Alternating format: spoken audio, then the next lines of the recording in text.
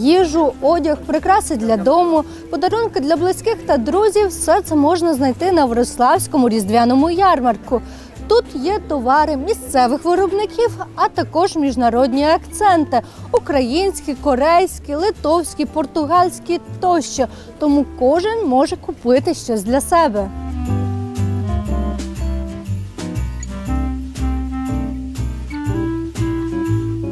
Я вже тут в Вроцлаві другий раз українською кухнею стою і дуже хвалять нашу українську кухню. Дуже є великий спрос на тому, що ми самі ліпимо.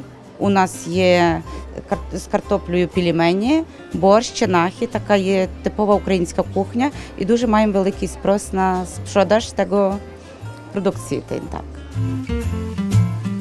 Stoisko jest e, ze słodyczami z Bliskiego Wschodu, z herbatą z Azerbejdżanu, daktyle z Azerbejdżanu, e, daktyle z Iranu, woda różana z Iranu, soki z Iranu, z granatu, no i chałwy oczywiście, no i słodycze, tak jak powiedziałem.